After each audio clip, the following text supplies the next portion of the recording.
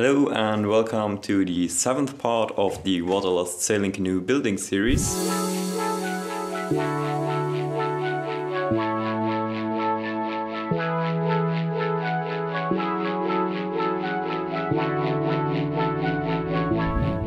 Do you need something?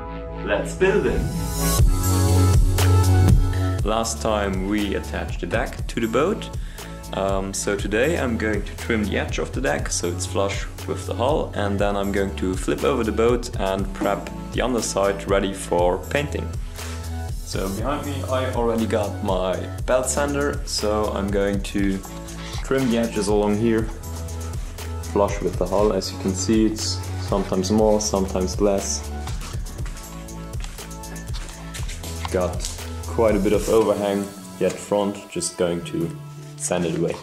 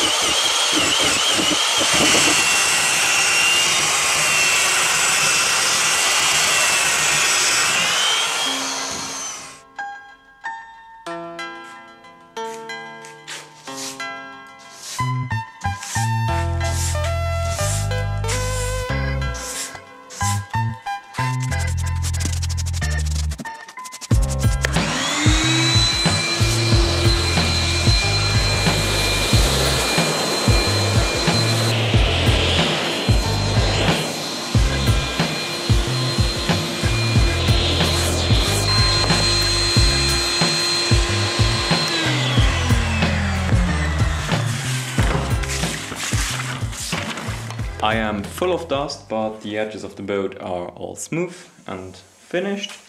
Um, so before I flip it over, I actually decided to also fill in the holes that were necessary for the screws to, to pull the deck down with thickened epoxy. Um, quickly going to mix some epoxy, fill them up, um, maybe coming back this evening or tomorrow to sand them, and then I'm going to flip the boat over to do the bottom.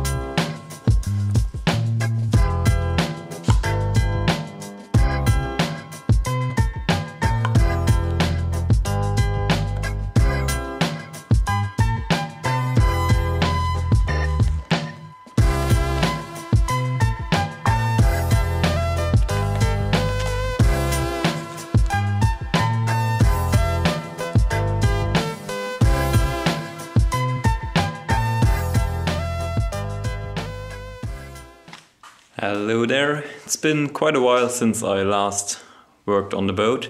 It's been cold outside so I couldn't work with the epoxy, but I'm happy to be back. I flipped the boat over so I can start working on the underside. So project will be for now to sand everything, clean these joiners, fill up these gaps completely and then add um, layer of fiberglass. So the main part will again be sanding, sanding and even more sanding.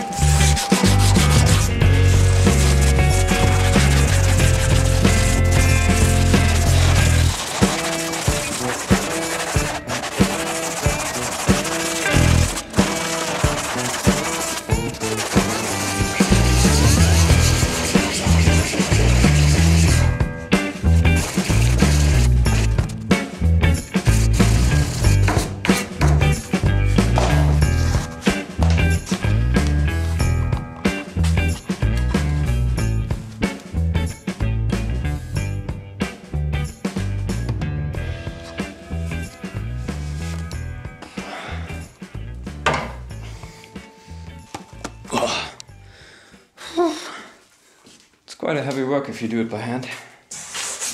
But everything's sanded, looking good. Going to clean it a little bit up and then it's actually ready to fill in the last gaps like these.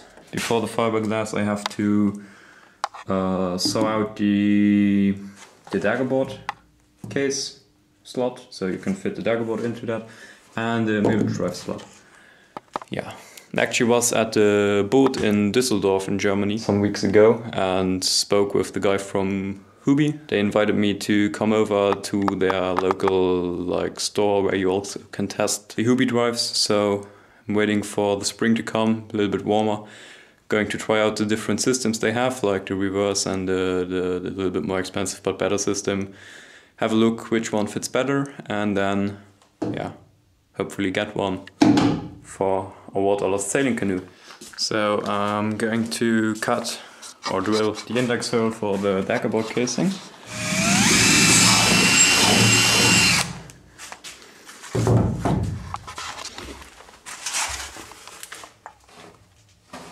There you have the little hole. Going to take my new little toy I got actually for Christmas for the flush router bit on there. Got my little hole like I've got over here in the boat underneath there, remember, is the daggerboard case. It's looking like that from underneath. And this little bearing there is going to go against the daggerboard casing inside. So the, the piece that cuts itself cannot go further than the daggerboard piece. So in theory, if everything goes well, you only cut out exactly where your daggerboard casing is. But I don't want to screw the daggerboard casing, so in case something goes wrong, I'm gonna screw this thing. I'm going to go along this side here with the bearing, and in theory it should be a nice and straight line.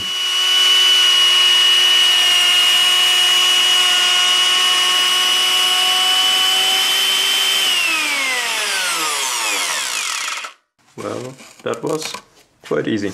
Perfect. Nice. Then, time to do it on a boat.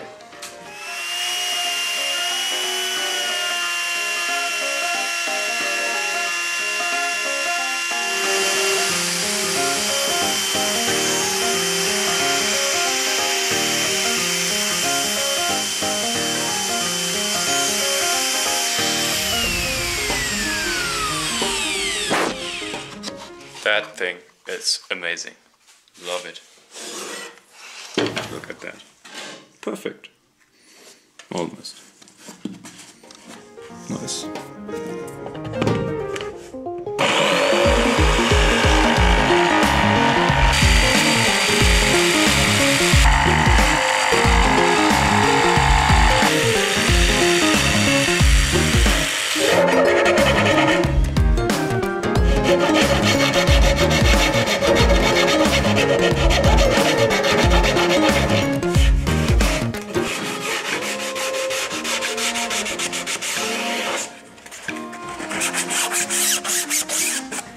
Sanded the entire boat again, just the little places I filled with epoxy last time, sanded over them quickly again. So the entire boat is sanded, cleaned and ready to put fiberglass on top of it.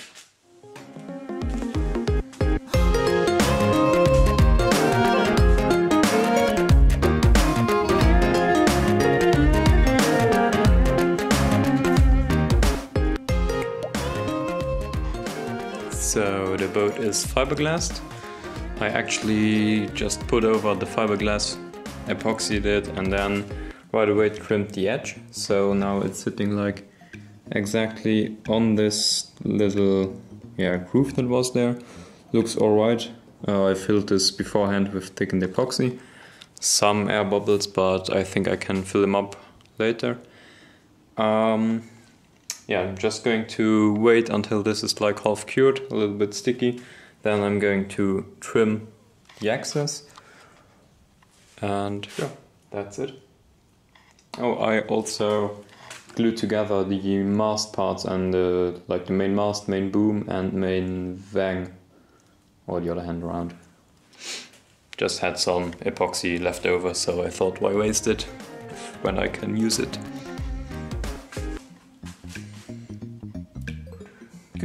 Going to eat something now.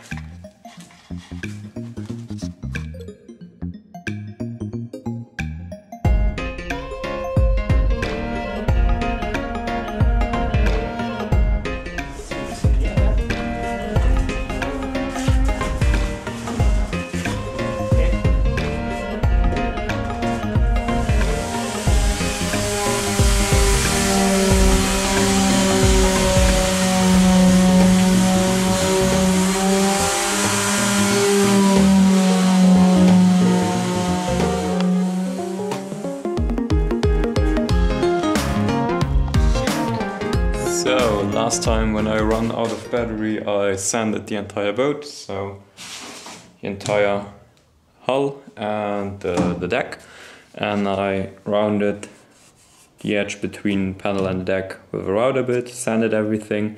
So this is almost ready for the top layer of fiberglass. I only have to drill out the mast steps already, filled the little little holes going to drill them out bigger, use the flush router bit, take them out, and then I'm actually ready to fiberglass this thing.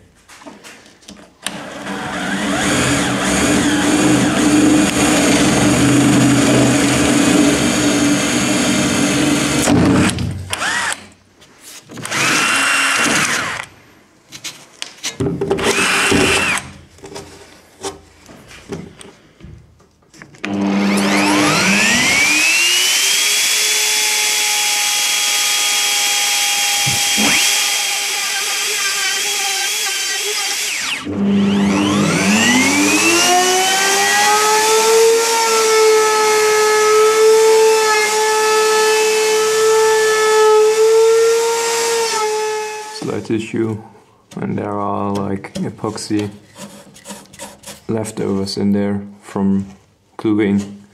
Of course the router bit will stuck over the epoxy and then leave these gaps, but I will just have to hand sand them. It's not a big issue.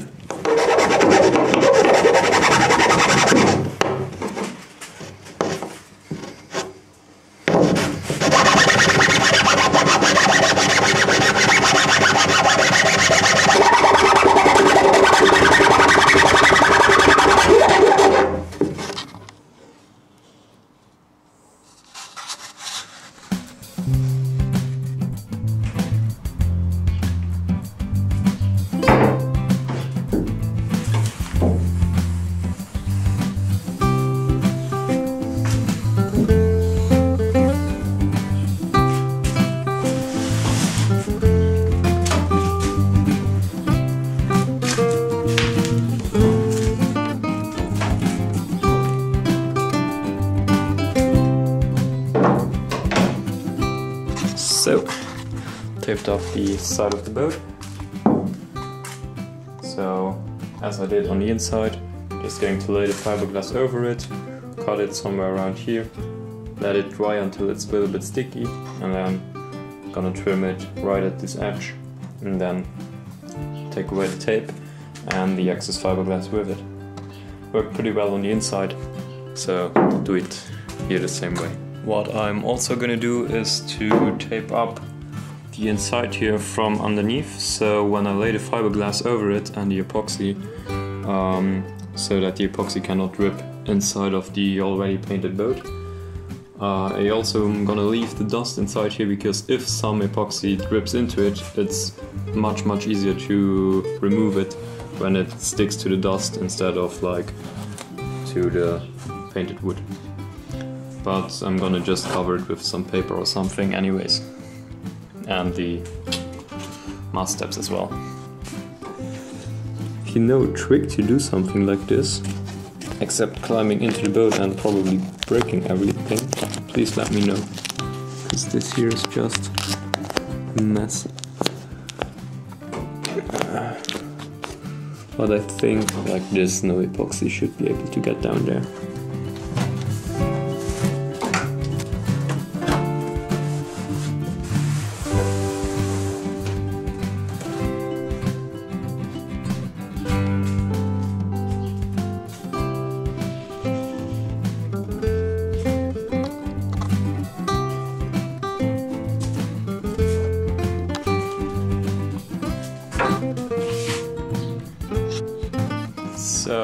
I taped up the inside, just like a little, little bit like this, so the epoxy cannot drip into there. I'm gonna trim the fiberglass exactly at the, at the edge, um, so that should be fine. So now I actually could add fiberglass, but it's freaking cold outside, so I worry that the epoxy doesn't get hard. So I'll have to wait until it gets a little bit warmer again. So that's it for this episode. Thank you for watching. Leave a like if you enjoyed it and leave a comment if you have something to say about the boat, tips, critics, questions, whatever. And see you next weekend. Bye bye.